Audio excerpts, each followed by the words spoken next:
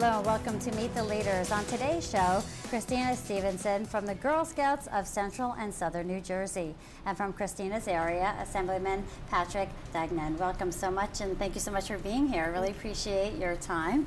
Um, uh, the Girl Scouts have been going strong for 100 years. What does it mean for you to be part of this 100 year celebration? Well, it's actually interesting. I graduated the 75th year at my high school, and I'm going into Rutgers as the 250th graduate um, year. So for me, there's lots of milestones in my future. Um, for the 100th year of Girl Scouts, it's a chance for me to reflect on all of the women that have already been a Girl Scout and look for the future of all the Girl Scouts in the future.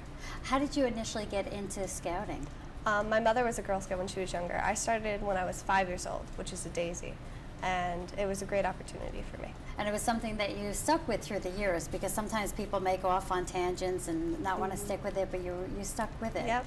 And you feel that the rewards are there for you? Absolutely. I mean, it, there was a challenge. I mean, there were times when my friends who were Girl Scouts, they had band or things like that. But for me, it was always, you know, weekends Girl Scouts, and that's when you dedicate all your time. And your you time. focused on that. Uh, tell us about your um, your gold project, your gold, My gold award. Yeah, gold award. Um, I'm an avid gardener, so for me, my whole entire project was based around gardening. I brought the students from the Greater New Brunswick Charter School, and I brought them to my garden at home, and I brought them, I taught them everything about composting, soil, testing, everything.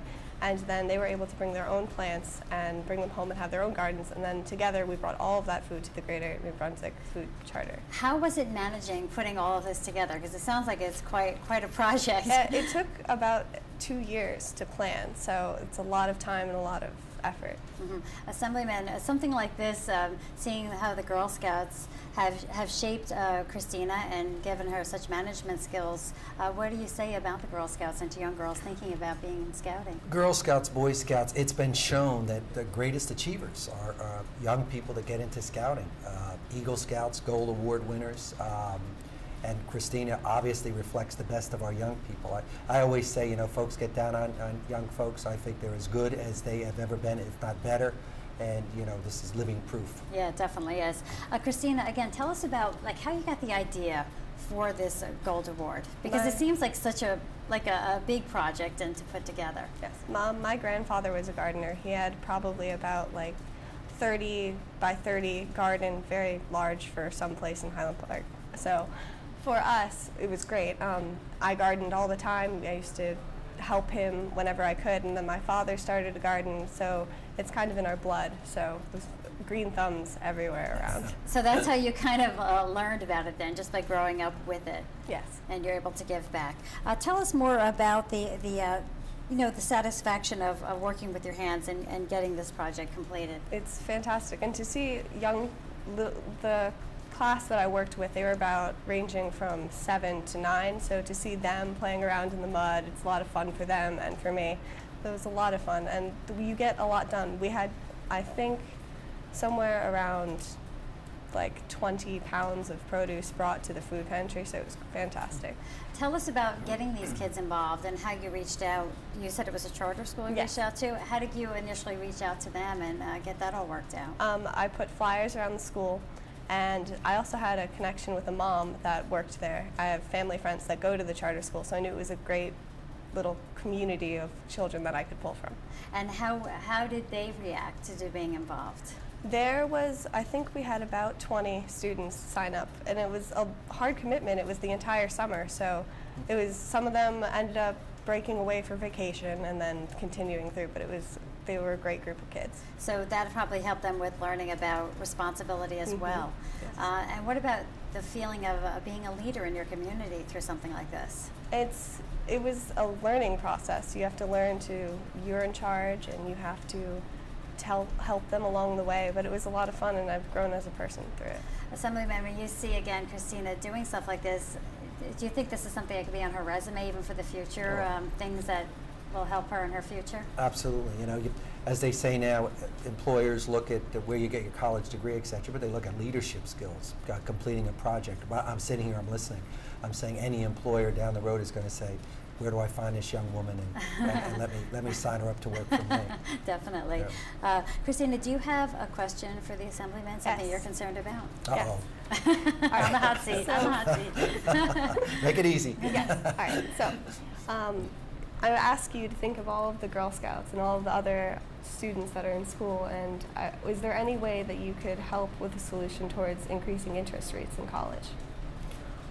You mean the, the, The student loan? Oh, absolutely, positively. What, what's happening in America today is middle class folks are not going to be able to send their kids to school. Um, and I absolutely positively, and I know our president has already committed on that part, uh, we have got to, maybe they could pay off their loans by doing community service, but absolutely positively, that should be a pri- priority because uh, Thomas Jefferson was the one who said uh, society cannot be ignorant and free. And we have got to get our kids educated, and access to higher education is essential, and it's so stinking expensive. So that is maybe when you're in the assembly, you can sponsor that bill, but not my seat. Uh, Assemblyman, we have uh, the budgets going on right now here in Trenton. What are some of the challenges you're facing with the budget right now? I think the number one challenge is what Christina just talked about. Education, you know, these are tough economic times and everybody's cutting here and cutting there, but we really are getting down to the bone. And when we're starting to cut back on K through 12 and support of our colleges, in the long run, it's not, it's not wise. So that's my number one priority is to properly fund all levels of education in New Jersey. Great. Um, Christina, tell us about some of your other scouting experiences. I know that there's, um, you know, the bronze, the silver, gold. Uh, tell us about some of the Um, experiences. I, I never did my bronze award, but as a silver award, we restored a 100-year-old house. It, we did parts, we broke it into parts and we painted, and it was a lot of work, but a lot of fun. how did you get involved in that, and how did you find the house and organize something like that? The house was on the Oak Springs. It was a camp for Girl Scouts, so it was readily available. And we've been staying there for years, and we knew that this was something that everyone cared about, and we wanted to make it a better place for girls of the future. So. Did you get um, a lot of the other Girl Scouts involved with this Yes. project? Um, when I did my silver award, you were allowed to do it as a troop.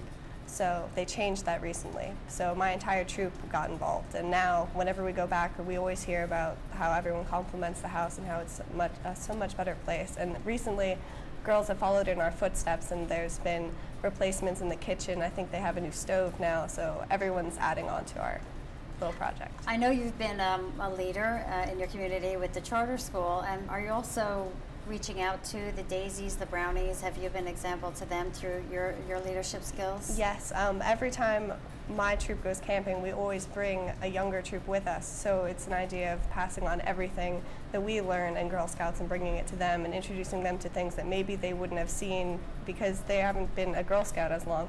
I know that the troop, when I was younger, we had a troop that did the exact same thing. It's kind of like the older sister Girl Scouts. It's Right, right. So, and they're looking up to you, and y- and you being a role model and example, it must be also uh, f- very fulfilling as well. yes. Definitely. Um, tell us about uh, Highland Park High School. I know that you just graduated, right? Mhm. And tell us about your future plans and what you're going to be doing in the future. Um, my future plans, I'm attending Rutgers University and I'm majoring in psychology. So hopefully I'll be able to help my community wherever I go. Definitely. Who have your role models been through the years? My mother has been my role model. She's always has the best advice. She always gives me whatever I need, and whenever there's something hard in our family, she always make, manages to make it seem easy. Has she been a supporter of you being in scouting all these years? Yes, she's she was actually my troop leader for a very long time. So okay, so she's, somebody around. that you've been able to look up to as well throughout Mm-hmm. the years. Um, and again, tell us about some of the celebrations that the Girl Scouts have been having um, this year for that 100 year celebration. I know that there's recently a 100 year large party with lots of concerts, and I wasn't able to go because it's my graduating year and I had graduation. Right. But I kind of wish I'd went. But, you know, you Try have to to graduate. right? Yes, Yeah. you do, definitely. So, um, I know I did Beach Jam this year, which is when all the girls go onto Wildwood Beach and they camp out on the beach, and it's a lot of fun. Oh, that sounds like So, fun. Mm-hmm. Yeah, it's a lot of fun. So that's one of the ones that I was a part of. Assemblyman, uh, some words of advice for Christina as she goes into college and for her future. Just keep it up. I mean, clearly when she references her mom as her hero and role model, need you say anymore. Um, obviously, brought up right, uh, has focus, uh, smart. Uh, she's the full package, and she, I, I, I- can you see anything but good things? Just keep up what you're doing. And, and uh, if you could talk to Juliette Gordon Low today, the founder of the Girl Scouts, what would be some of the things you'd say to her? Um, I think I would ask her, did you realize or anticipate how much success you would have at empowering girls everywhere? I mean, it's 100 years of Girl Scouts, and everywhere there are more independent women, so it's amazing. Overall, what has scouting taught you through the years? I think scouting has taught me to be independent. You have power. Um, no matter what, if you don't like something, you can change it by yourself as an individual. Definitely. Um, and, and Assemblyman, I know that you have a, a busy day here with the budget and uh, a lot of things going on here in the state of New Jersey. What are some of the challenges we face here in the state of New Jersey? We're not an we're not an island. We're part of the United States of America. We're part of the world. Uh, you know, we all realize the challenges that are being faced in terms of the economy and and jobs and education and women's rights and, and all the rest of it. It's an ongoing battle. And, you know, we just got to keep positive energy. It, it revs up my batteries to sit next to somebody like Christine and, and see, see what the future's all about. Yeah. Why, why we do what we're doing. Yep. Uh, Christina, what would you say to young girls who are thinking about getting into scouting? do it. I mean, it's a great chance to have you meet so many different girls. You're able to help your community. It's it's a thriving community where women want to change the world. So it's great. And, and Assemblyman, what would you say again to young people who are thinking about getting into scouting as well? it is it is a win-win situation on all levels uh, in terms of you know nowadays with you know the, the gang mentality and all the rest what a, what a positive alternative and uh, really basically put a positive uh, effect not only on your life but on others lives What's the best thing about scouting for you, Christina? Is there one specific thing? Um, meeting girls from all over the world. It's great. Have you been able to go to a lot of different events through the years with scouting? Yes, I've been through a lot, and it's a lot of fun. And everywhere you go, you meet someone from someplace that you've never been. So it's fantastic. Great. I'm sure it sounds like a wonderful bonding experience as well. And best of luck to, to you with everything you do and keep up the great work. Thank you.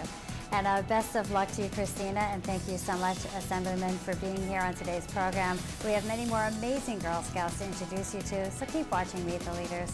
From all of us here at Optimum Local, I'm Debbie Duhane. Thank you so much for watching.